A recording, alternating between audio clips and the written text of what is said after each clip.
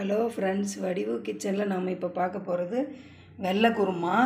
வெள்ளை குருமாவுக்கு தேவையான பொருள் ரெண்டு. ஒரு பெரிய வெங்காயம் கொஞ்சமாக சின்ன வெங்காயம். தேங்காய் இந்த அளவுக்கு ஒரு மூடி அளவுக்கு நான் அரைச்சி வச்சுருக்கேன். இப்போ நம்ம வந்து தேங்காய் இது பொட்டுக்கல்ல பச்சை மிளகா வேணும் காரத்துக்கு.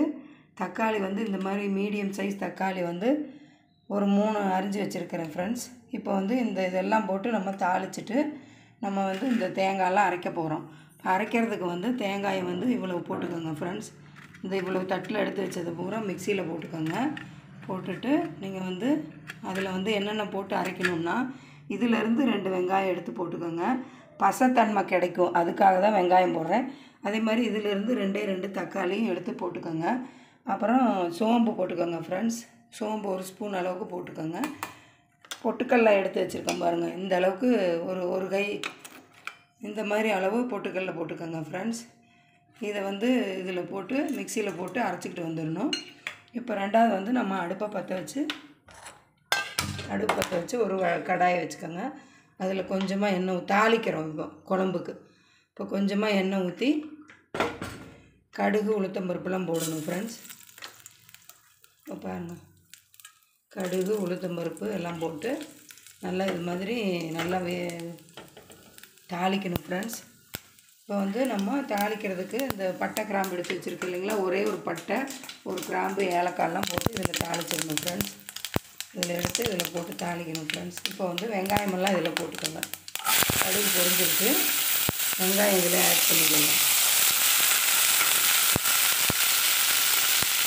வெங்காயம் வந்து நல்லா கண்ணாடி மாதிரி நல்லா ஃப்ரை ஆகணும் friends. இது மாதிரி நம்ம வந்து இந்த வெள்ளை குருமாவுக்கு வந்து பச்சை மிளகாயை வந்து இப்போயே போட்டோம்னா கருகருன்னு ஆயிரும் குழம்பு மணி வெள்ளை ஒயிட்டு கலர் கிடைக்காது.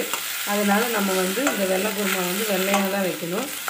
இது நல்லா வெங்காயம் வணங்கும் போது ஃப்ரெண்ட்ஸ் நம்ம இந்த தேங்காய் அரைச்சிட்டு வந்துடுவோம் தேங்காய் பொட்டுக்கல்ல போட்டு வச்சுருக்கேன். அதை அரைச்சிட்டு வந்துடுவோம் ஃப்ரெண்ட்ஸ் இப்போ வந்து வெங்காயம் நல்லா வணங்கிருச்சு. இதை நான் இதை அரைச்சிட்டு வந்துட்டேன். இப்போ இதில் ஊற்றுவோம் ஃப்ரெண்ட்ஸ் இதுக்கு வந்து உங்களுக்கு தேவையான அளவு நீங்கள் தண்ணி ஊற்றிக்கலாம். இது நல்லா இப்படி வெங்காயம் நல்லா வணங்கின உடனே இது இப்படி கொதிச்சுக்கிட்டு இருக்கும்போது நம்ம வந்து இந்த தேங்காயெல்லாம் வணக்கின வண வணக்கினதுக்குள்ளே தக்காளியை போட்டுருங்க. தக்காளியை போட்டு ஏன்னா தக்காளி வந்து போட்டு வணக்குனிங்கன்னா நம்ம கடித்து சாப்பிட முடியாது. அது வணங்கும் போது மஞ்சள் கலரில் ஆயிடும் தக்காளி. அப்போ வந்து குழம்பு உங்களுக்கு தக்காளி மாதிரி கிடைக்கும். மஞ்சள் கலரில் கிடைக்கும். அதனால் வந்து நம்ம இது இப்போ வந்து அடுப்பை ஸ்பீடு வச்சுக்கோங்க.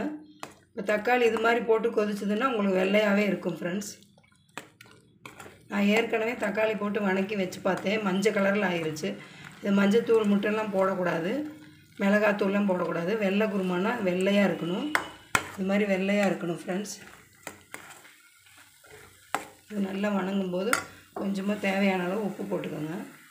இந்த அளவு உப்பு போட்டுக்கோங்க.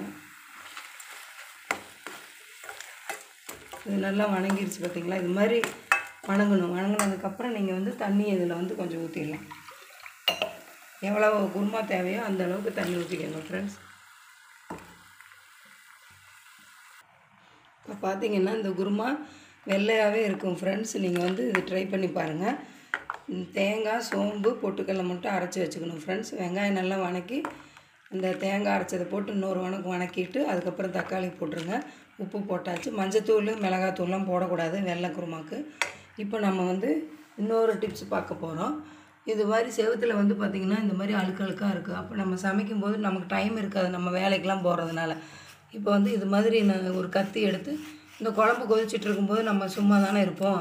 அப்போ நீங்கள் இந்த மாதிரி கத்தி எடுத்து இது மாதிரி இப்படியே தேய்ச்சிக்கிட்டே வந்தீங்கன்னா உங்களுக்கு வந்து அந்த கால கிச்சனும் நல்லா நீட்டாயிரும் நம்ம வந்து சமைக்க சமைக்க நமக்கு டைம் வந்து இதுக்காக தனியாக ஒதுக்க வேண்டியதில்லை ஃப்ரெண்ட்ஸ் நான் இப்படி தான் நான் கடைக்கு போவேன். அதனால் டக்குன்னு இந்த மாதிரி ஒவ்வொரு வேலையாக சின்ன சின்ன வேலை கூட செஞ்சுக்குவேன் ஃப்ரெண்ட்ஸ் குழம்பு வச்சுட்டு இருக்கும்போது சும்மாவே நிற்கக்கூடாது இங்கே ஏதாவது ஒரு வேலை இருந்தால் நம்ம அப்படியே சைடில் பார்க்கணும் ஃப்ரெண்ட்ஸ் இது மாதிரி இது மாதிரி பண்ணிங்கன்னா இங்கே பாருங்கள் எல்லாம் கலராக கரு கருன்னு இருக்கிறதெல்லாம் பாருங்கள் இப்படி வெள்ளையாக வந்துருச்சு. இதுக்கு வந்து நம்ம லிக்விட்டு அது மாதிரியெல்லாம் தேவையில்லை. இது மாதிரி கத்தி இருந்தால் போதும் எல்லாம் தேய்ச்சி ஒரு சோப் துணி போட்டு தொடச்சி விட்றலாம் ஃப்ரெண்ட்ஸ் இடையில வந்து நான் குருமாவையும் பார்த்துக்குவேன். பாருங்கள் நல்லா கொதிச்சிக்கிட்டு இருக்குது. சமைக்கும்போது வந்து ஒரு அன்போடு சமைக்கணும். அப்போ தான் வந்து அந்த குழம்பே எப்போவுமே நல்லாயிருக்கும். இது மாதிரி நல்லா ஒரு கொதி வரும்போது இந்த பச்சை மிளகா வந்து நம்ம நாலஞ்சு பச்சை மிளகா அரிஞ்சு வச்சுருக்கேன். கருவேப்பிலையெல்லாம் கடைசியில் போட்டிங்கன்னா வாசமாக இருக்கும். மீடியம் சைஸ் தக்காளி மூணு போட்டிருக்கிறேன். கொஞ்சமாக அரைச்சிட்டேன். கொஞ்சம் வந்து இதுலேயே சின்ன சின்னதாக கட் பண்ணி போட்டிருக்கேன். பாருங்கள் கலரே மாறாது. நீங்கள் வெங்காயத்தோட தக்காளி வணக்குனீங்கன்னா மஞ்சள் கலரில் கிடைக்கும். அதனால நான் வந்து இந்த மாதிரி வெள்ளையாக வேணும்னு இது மாதிரி பண்ணியிருக்கேன் ஃப்ரெண்ட்ஸ் இப்போ வந்து நல்லா கொதிக்கட்டும். நல்லா கொதிக்குது ஃப்ரெண்ட்ஸ் இப்போ நம்ம என்ன பண்ணணும்? இதில் வந்து இந்த பச்சை மிளகாவை கடைசியாக தான் ஆட் பண்ணணும். கருவ மல்லித்தழை இது இருந்தால் போட்டுக்கோங்க. கருவேப்பிலை பச்சை மிளகாலாம் போட்டிங்கன்னா உங்களுக்கு வந்து இந்த வெள்ளை குருமா வெள்ளையாகவே இருக்கும். வே தக்காளியும் பச்சை மிளகாயும் வணக்கி போட்டிங்கன்னா ஒயிட் கிடைக்காது ஃப்ரெண்ட்ஸ் மெரூன் கலரில் வந்துடும் அதான் பட்டை கிராம்லாம் தாளிச்சிடணும். பட்டை கிராம்லாம் போட்டு அரைச்சிங்கன்னா மெரூன் கலரில் வரும் ஃப்ரெண்ட்ஸ் இது தோசை சப்பாத்தி சாதம் கொஞ்சோண்டு இருந்தால் ஊற்றி தின்னு பாருங்களேன் அவ்வளோ ஒரு டேஸ்ட்டாக இருக்கும் இந்த குருமா. நீங்கள் வந்து சப்பாத்தி இட்லி தோசை எல்லாத்துக்குமே நல்லாயிருக்கும் ஃப்ரெண்ட்ஸ் இது மாதிரி நீங்கள் செஞ்சு ட்ரை பண்ணி பாருங்கள் செஞ்சு பார்த்துட்டு எப்படி இருக்குதுன்னு சொல்லுங்கள் சப்ஸ்கிரைப் பண்ணுங்கள் லைக் பட்டன் கிளிக் பண்ணுங்கள் பெல் ஐக்கான் பண்ணுங்கள் நீங்கள் வந்து இதெல்லாம் செஞ்சு பார்த்துட்டு எனக்கு எப்படி இருக்குதுன்னு சொல்லுங்கள் ஃப்ரெண்ட்ஸ் நம்ம இனிமேல் நெக்ஸ்ட் வீடியோவில் மீட் பண்ணலாமா ஃப்ரெண்ட்ஸு தேங்க்யூ